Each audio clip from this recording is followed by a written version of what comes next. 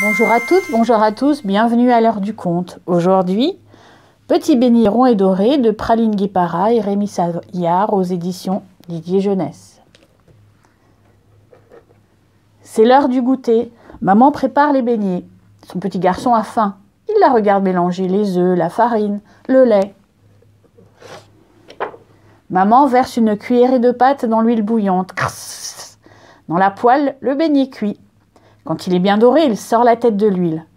Le petit garçon glouton le guette avec une fourchette et dit avec appétit hum, Petit beignet rond et doré, viens par ici, je veux te manger.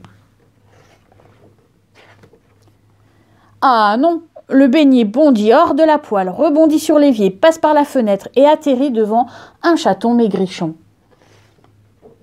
Le chaton l'appelle. Petit beignet rond et doré, viens par ici, je veux te manger. Ah non, j'ai échappé au petit garçon glouton et tu crois que je vais me laisser manger par un chaton? Petit beignet rond et doré se met à rouler vite, vite, vite, de plus en plus vite. Le chaton le poursuit, mais le beignet roule trop vite pour lui. Tant pis. Petit beignet rond et doré arrive dans la basse-cour. Un dindon fait son fanfaron. Il appelle le beignet. Petit beignet rond et doré, viens par ici, je veux te manger. Ah non, j'ai échappé au petit garçon glouton, au chaton maigrichon, et tu crois que je vais me laisser manger par un dindon? Petit beignet rond et doré se met à rouler, vite, vite, vite, de plus en plus vite. Le dindon le poursuit, mais le beignet roule trop vite pour lui. Tant pis. Petit beignet rond et doré arrive dans le pré. Un gros mouton marron passe par là. Il appelle le beignet. Petit beignet rond et doré, viens par ici, je veux te manger. Ah non, j'ai échappé au petit garçon glouton, au chaton maigrichon, au dindon fanfaron, et tu crois que je vais me laisser manger par un mouton? Petit beignet rond et doré se remet à rouler, vite, vite, vite, de plus en plus vite. Le mouton le poursuit, mais le beignet roule trop vite pour lui. Tant pis.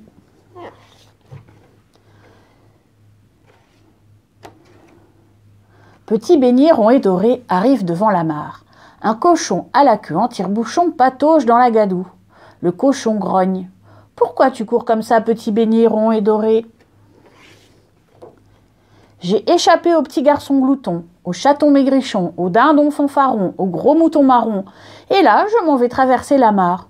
Tu es fou, tu vas te noyer. Saute sur mon groin et je te ferai traverser. Ah non, tu me prends pour une andouille, tu veux me manger.